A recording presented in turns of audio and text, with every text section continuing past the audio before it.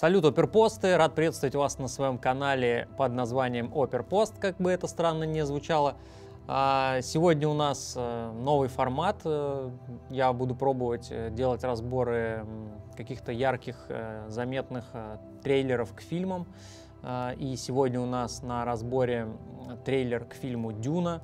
А, некоторые ребята писали мне в личку, просили разобрать этот трейлер. А, мне показалось интересным вообще, в принципе, разбирать трейлеры а, предстоящих фильмов, анализировать их. Первое, что я хотел бы изучить, это посмотреть страничку IMDb этого фильма и посмотреть, на что он снимался. Итак, мы э, видим, что формат съемки был 2.39 к 1 основной, плюс какие-то дополнительные форматы там для IMAX делались. А, камера была а, основная Ari Alexa LF. И, видимо, как дополнительная была Ari Alexa Mini LF. И объективы Panavision Ultra Vista. А, видимо, для large формата какая-то оптика. А, вообще Panavision в России недоступна. А, сюда ее никто не привозит. А, поэтому нам довольствуется только мечтать о ней, а, об этой оптике и покупать какой-то мерч. У меня, например, есть куртка Panavision. Видел у ребят, у многих есть кепки, панамки. В общем, о Panavision приходится только мечтать. Вообще в трейлере очень много крупных планов, а, причем довольно таких, я бы сказал, супер крупных, когда мы там, режем подбородок, режем голову, все построено на таких на эмоциях, на взглядах, а, близко очень к актерам, плюс это large формат. У нас а, очень маленькая глубина резкости, то есть мы видим, что у нас там буквально глаз и нос а, в фокусе, все остальное уже размыливается, размыливается справа, размыливается слева, то есть очень такой, очень маленькая глубина резкости, очень тонкие акценты. Сами съемки, насколько я слышал, проводились в основном на реальных э, каких-то локациях, э, то есть это декорации, какие-то реально существующие пейзажи, э, минимум графики. В этой сцене мы видим, что довольно-таки темная комната, при этом какой-то яркий источник света сверху, при этом он мягкий, поскольку тени, тень под героем тоже довольно-таки мягкая, и он расположен немного контровее нашего объекта, то есть немножко за ним за героем. И поэтому он не подсвечивает его от лица. В основном подсвечивает только его контур, чтобы немножко выделить его от фона заднего. И э, по-любому там свешены какие-то черные юбки, черные тряпки, которые закрывают, э, чтобы свет не шел, не шел на фоны. В основном вся вот сцена одним, одним источником, мягким верхним таким топ-лайтом высвечена. Но когда мы переходим на крупный план, э, прибор уже начинает работать больше от камеры. Э, мы видим вот эти глубокие, глубокие тени под глазами, э, но при этом дополнительно еще вот, вот эти провалы глаз немножко подсвечены, либо отражением каким-то, либо немножко фрострамкой дали на них. Когда мы переходим э, с общего на более такой средний план на двоих, э, видим, что у нас э, верхний свет работает рисунком и на одного актера, и на другого актера. При этом он и подсвечивает волосы немножко, дает вот контровой на руку. При этом он расположен немножко за актерами. Ну и плюс еще волосы самого актера не позволяют свету проходить ему на ближайшую сторону лица к камере. Создают такое дополнительное как бы оттенение, как флаг работает. Думаю, что здесь все-таки на фон немножко либо приоткрывали юбку заднюю, либо еще каким-то дополнительным источником подсвечивали фон, то есть он полностью в провал не уходит. Тут немножко непонятная для меня схема, тут появляется какой-то некий цветовой контраст, а, то есть у нас верхний источник света, он немножко холодный, а боковой источник света, а, он в той температуре, в которой мы видели предыдущие сцены. То есть вот лицо у него работает как какое-то среднего значения температура а верхний свет э, сверху идет холодный. Возможно, это оправдано тем, что сверху идет какой-то там какая-то дырка в потолке и свет от неба пробивается. Но до этого мы в предыдущих сценах на общаке, на крупниках не видели такого цветового контраста. Вот, то есть э, здесь у нас э, пальцы э, холодные э, сверху от верхнего света, а в следующем же кадре они абсолютно обычной температуры и в принципе здесь нигде холодного света как такового нету. По-прежнему у нас а, мягкий софтбокс работает сверху в качестве рисунка, и видно а, в зрачках такие маленькие точечки, а, скорее всего, какой-то еще приборчик подсвечивал, подсвечивал герою глаза, не давал ему идти полностью в провал, плюс давал вот эти блички в самих глазных яблоках. При этом не используется какой-то контровой яркий, там не подчеркивается его теневая сторона не подчеркивается никак, не подчеркивается теневая сторона нашей героини, то есть замысел такой сцены более темной, более такой кулуарной, а, но при этом мы видим еле-еле, но видим все-таки задний фон, то есть он не полностью уведен в провал. На обратной точке на восьмерке мы уже видим опять вот этот холодный свет, а, которого, в принципе, то он то есть, то его нету. Видимо, с этого ракурса совсем, а, когда парень был в провале, здесь он, он просто не считывался, не было понятно, кому она обращена, а, что он здесь стоит. Поэтому они добавили немножко с правой стороны контровой, но он по температуре, опять же, немножко не бьется с предыдущими кадрами. Также тут э, опять тот же самый источник света, то есть вся сцена, сцена могла быть снята под одним и тем же светом, не перемещая его, просто какой-то мягкий, мягкий свет сверху идет, вот э, дает на девушку рисунок, плюс дает бличок, опять же, вот этот какой-то прибор, который работает на нее снизу уже. Возможно, я, конечно, могу ошибаться, но есть какие-то здесь э, температурные искажения в более холодный цвет.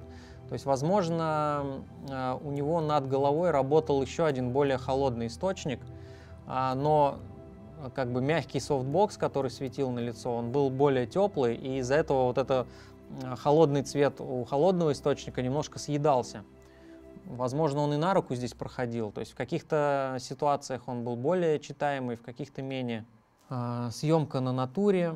Видим, а, что у нас такой более светлый фон, и при этом наш герой такой как бы более, более темной одежде, хорошо читается на светлом фоне, то есть он стоит не на фоне горы темной, а его располагают специально так, чтобы он а, выделялся э, лучше на более ярком небе.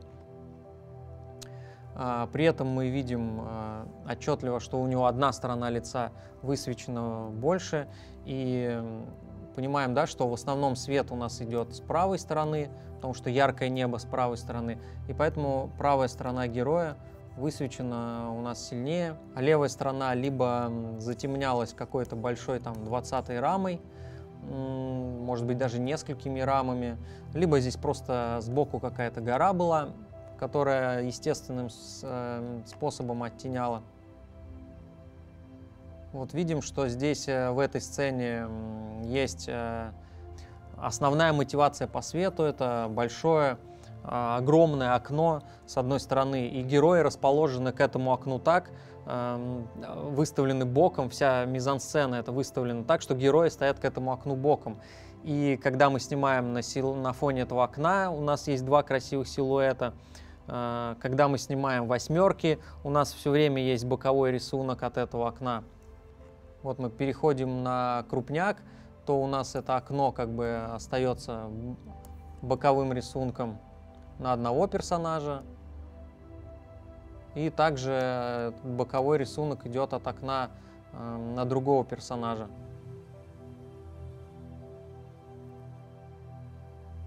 Вот, и получается, что мы э, выстраиваем вот эту ось в одну сторону, в другую, и все время у нас э, это окно, по сути, здесь и работает как источник света. Не думаю, что они что-то еще дополнительно здесь ставили. Скорее всего, просто светили в это окно, и оно как большая фрострама уже работала на героев. Ну и плюс, чтобы фаны не уходили в провал, добавили какие-то так называемые practicals, то есть источники света в кадре.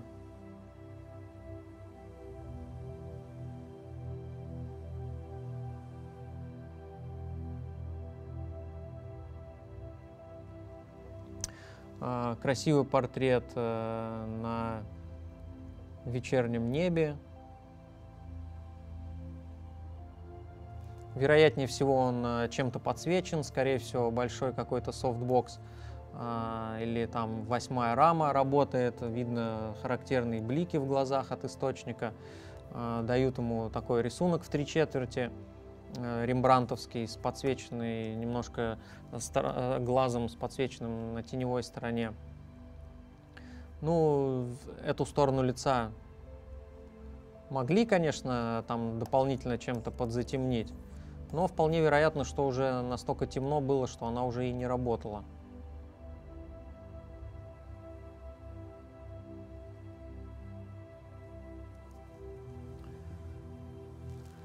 Ну, разные используются схемы света в фильме, то есть не, оператор не повторяет с одной и той же схемой. Видно, что кадр выстроен э, на светлое небо, то есть за героем сзади светлое небо. Поэтому актер такой немножко в силуэте, поскольку у нас светлый фон сзади заливной, то хорошо бы сделать его таким силуэтным, немножко притемненным.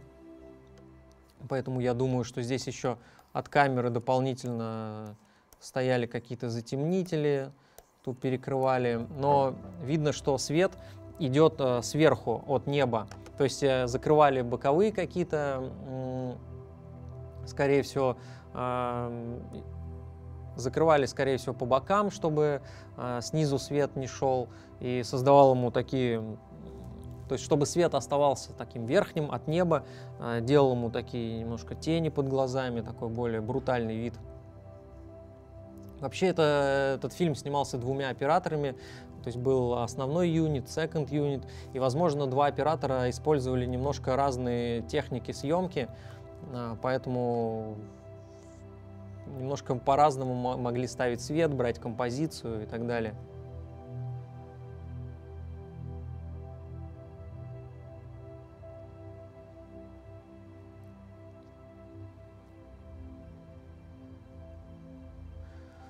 В этой сцене видим, что у нас есть э, некое темное пространство, мы не видим окна, а, но мы хотим э, заявить э, о том, что это день допустим, да, то есть мы а, так же, как можем это делать и в квартире. Допустим, мы видим некий дверной проем, некую комнату, но мы не видим в кадре окна, но мы можем поставить за стеной а, какой-то яркий источник света, который будет нам давать э, луч э, в кадр из-за стены, э, при этом немножко поддымить, если также тут видно, что использовался дым. Он высвечивает эту дымку, плюс он создает такой немножко цветовой контраст, потому что вот здесь видно, что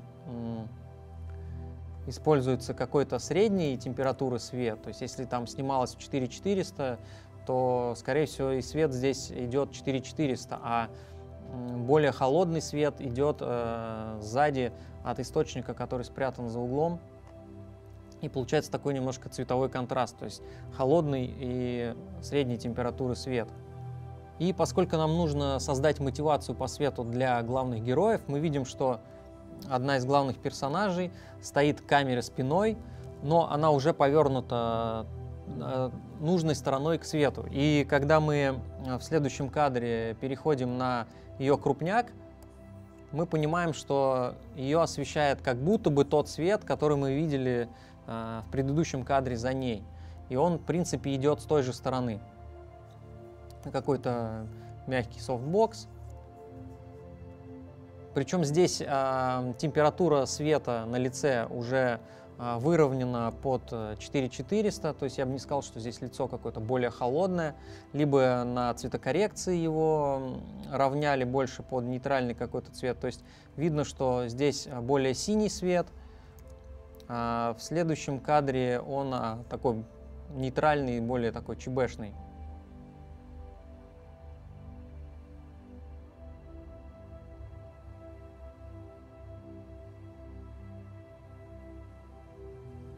Тут довольно-таки простая схема. Думаю, что здесь э, просто какой-то был фрост э, натянут, и в этот фрост там много-много света навалено, что-нибудь там типа восемнашек каких-нибудь.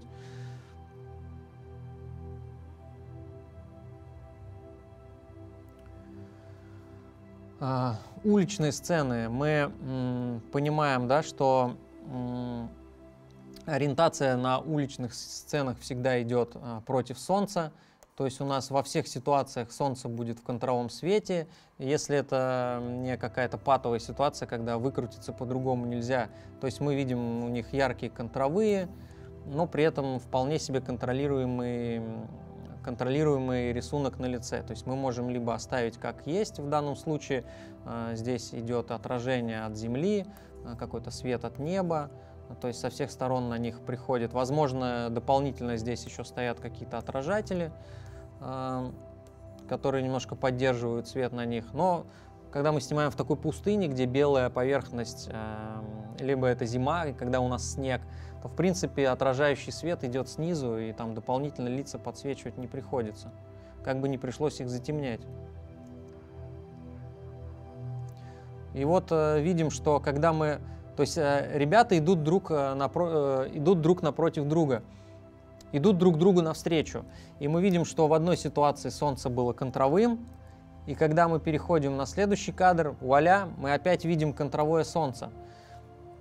То есть, по, по идее, если мы разворачиваем камеру, то солнце должно лупить ему в лицо уже от камеры. Но нет, мы, если снимаем все время, стараемся держать солнце в контровом, мы просто ориентируем съемочный день таким образом, что пока солнце в одной стороне мы снимаем в эту сторону, потом, когда нам надо развернуться, мы ждем, пока солнце переместится в другую. Это может сниматься вообще в разные дни. Например, один день снимаются все направления в одну сторону, потом в другой день там в другую. Либо просто подворовывают декорацию таким образом, что кажется, что мы развернулись, а на самом деле мы просто чуть-чуть повернули камеру, солнце осталось контровом, э, и мы продолжаем как бы смотреть э, против солнца. И вот также они, когда встречаются, солнце у нас по-прежнему в контровом.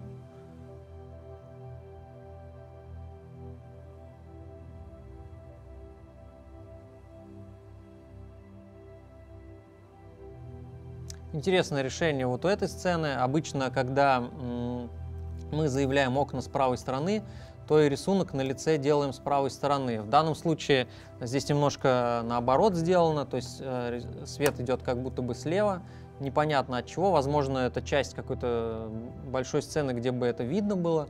Ну, опять же, э, разные операторы, разные вкусы, не запрещено ни так, ни сяк, как бы кто как хочет, так и делает.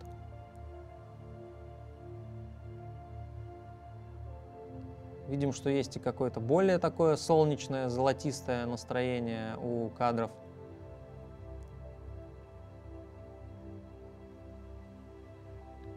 Но в основном а, весь фильм будет решен, скорее всего, в таком а, приглушенном свете, в таком чебешном немножко формате, где кое-где будет добавляться холодный свет, чтобы, не, чтобы дать зрителю понять, что он все-таки не ЧБ изображение видит, а такое более цветное. Также я бы хотел посмотреть making of этого, это вот не трейлера, а самого фильма, и посмотреть, может быть, там какие-то кадры удастся подглядеть. Вот видим на making of, что оператор снимает с плеча, э, то есть держит камеру на плече, не какой-то там Easyrig, как мы привыкли там вывешивать на Easyrig е, и там камера висит. Такой олдскульный формат, когда камера на плече, такая более устойчивая, более фиксированная.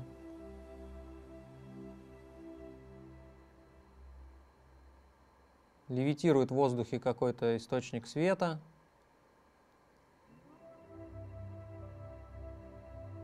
Кстати, интересное решение. Видим, что у рельсов, которые лежат на полу, э, нету шпал, так называемых а, поперечных э, распорок, которые держат рельсы, они убраны для того, чтобы актриса э, могла идти э, и не спотыкаться об эти э, шпалы. То есть, как правило, э, проблема отъезда по прямой от героя заключается в том, что э, персонаж идет и начинает задевать ногами, либо он их перешагивает, ему надо немножко поглядывать как бы под ноги. Вот здесь, я смотрю, решили проблему тем, что э, положили какие-то специальные рельсы, где нету этих шпал. Вот также видно, что свет э, движется вместе с актрисой. Э, возможно, здесь какой-то компьютерный персонаж, который светится, от которого идет свечение. Не знаю, что там будет в фильме. А, возможно, его как раз имитируют тем, что вместо него двигают э, сверху источник света.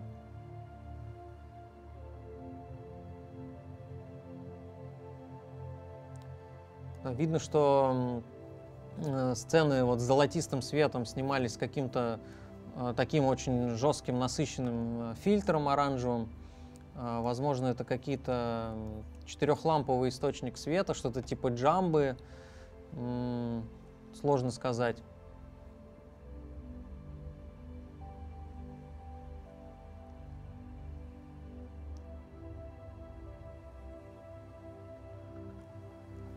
А, вот в, этом, э, вот в этой локации видно, что висят два больших а, софтбокса. Судя по всему, это какие-то 12 рамы. Э, у которых э, свешены юбки по бокам. Не знаю, какую функцию они здесь выполняют, потому что они абсолютно не отбивают свет. Он все равно лупит э, в боковые стены. Да и плюс он как бы... Я сомневаюсь, что камера поднималась наверх, хотя возможно. Ну, то есть вот эти юбки, они в данном случае не особо-то и работают. Вот даже если взять вот эту стену, она продолжает быть высвеченной. Возможно, если юбку убрать, она еще сильнее высветится. Может быть, он просто чуть-чуть притемняет. А, ну, скорее всего, так и есть.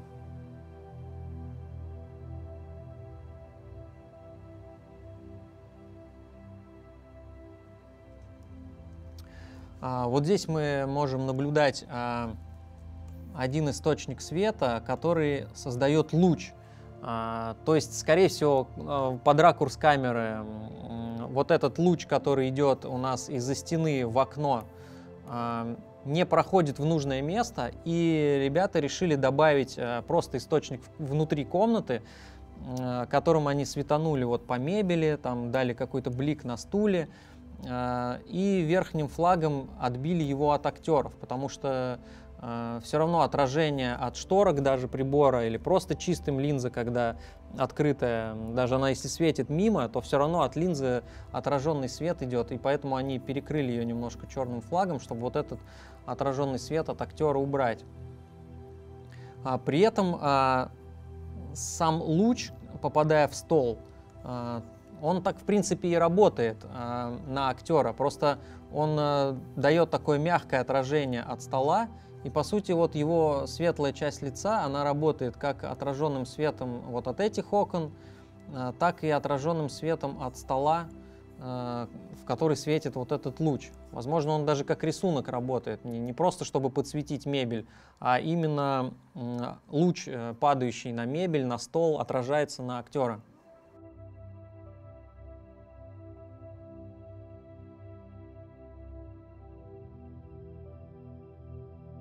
Ну, также фотография а, со съемок, а, где мы а, видим, что вот этот прибор, который сверху светил на общаке, освещал вот этот зал на общем плане, здесь они уже подставили под этот прибор фростовую раму, подошли а, с камеры уже поближе и... Даже сейчас скажу, что это за кадр.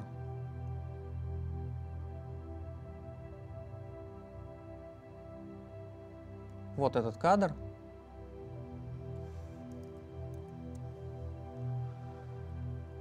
То есть мы видим, что вот эта восьмая фрострама работает сверху, а, дает а, контровой, дает им рисунок, плюс а, что-то здесь, либо это фрострама, либо это пена, скорее всего это фрострама, дает какой-то еще свет на парня отражает. То есть вот отсюда идет еще какой-то свет. Не знаю, что она делает. Здесь не особо что-то она и работает, непонятно. Вот, также в мейкинг-оффе, вот видно, да, вот это рама или пена. И плюс вот этот источник, который подсвечивает, э, подсвечивает глаза актеру, чтобы у него были э, блички в зрачках. То есть, по сути, это просто подсветка глаз. И видим, что он не супер мягкий, это какой-то размер такой небольшого источника. Он мягкий, не жесткий, то есть это не Dedolight, не какая-то 650 там с линзой, это а, мягкий софтбоксик небольшой, чтобы блик в глазу был небольшим квадратом, а маленькой точкой. Вот, но при этом он оставался каким-то мягким и не было относа вот такой жесткой тени. Да, вообще, конечно, я погорячился с джамбой, то есть, скорее всего, здесь Эм, стоит какой-то помост, на котором стоит, я не знаю, это восьмая фрострама или что-то. И в эту восьмую фростраму, скорее всего, четыре, четыре каких-то мощных теплых источника, типа там э, десятки, может быть, четыре десятки в нее лупят. Э, и они посажены на диммер, какой-то мощный такой э, диммер, когда мы можем опускать их по диммеру и создавать такой эффект мерцания, как будто горит огонь. При этом э, растянут какой-то желтый, там, оранжевый фильтр дополнительно, чтобы это все выглядело как огонь.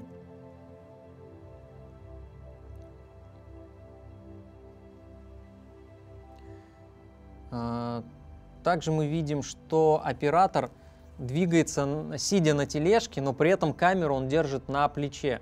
А, это нужно тогда, когда нам нужно мягко, плавно приближаться к чему-то, то есть двигаться Э, вместе с объектом вперед, но при этом не было тряски от ног. Иногда я сажусь на велорикшу и меня катят, иногда мы садимся на тележку из супермаркета, или иногда мы используем операторскую тележку, но берем камеру на плечо, и тогда у нас остается как бы живая такая плавная камера, э, но при этом мы можем спокойно приближаться, отдаляться э, и делать какие-то движения, даже может быть просто боковые пролеты.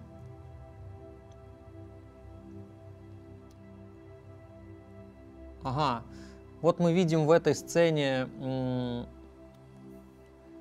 некое энное количество источников, один из которых э, более такой узконаправленный, скорее всего, светит э, на дамочку.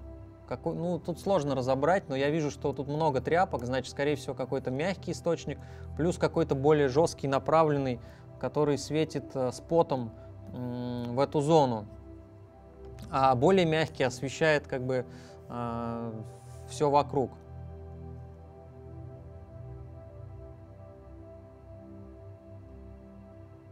Ну да, мы видим э, также на этом э, making-of кадре, что по сути нигде в этой комнате нет никаких источников, и само окно по сути является таким большим мягким источником света на всю эту сцену. Ну что, друзья, вот такой мой разбор, анализ этого трейлера. Очень э, не терпится посмотреть сам фильм. Думаю, будет э, большим событием новой франшизы в стиле «Звездных войн». Э, увидимся с вами в следующем видео. С вами был Алексей Андреев. Вы на канале Оперпост. Подписывайтесь, ставьте лайк. Пишите свои комментарии, пишите, какие трейлеры еще хотели бы, чтобы я разобрал. И до новых встреч. Всем пока. Когда мы выставились, у нас получилась, получилась такая схема. У нас а, большая Sky-панель 360 светит а, в большую 12-ю фростовую раму, которая у нас стоит над героиней. То есть у нас идет большой такой мягкий источник света а, от потолка, а, который как бы высвечивает, дает нам заполнение от камеры. И вот эта вот черная а, тряпка, которая подвешена за фростовой рамой, она отбивает у нас весь свет который теоретически шел бы от, э, и от прибора, и от э, фрострамы немножко, потому что она вот здесь вот э, свешивается под фростраму. И она у нас отбивает весь вот этот свет, который идет у нас от верхнего источника на фон.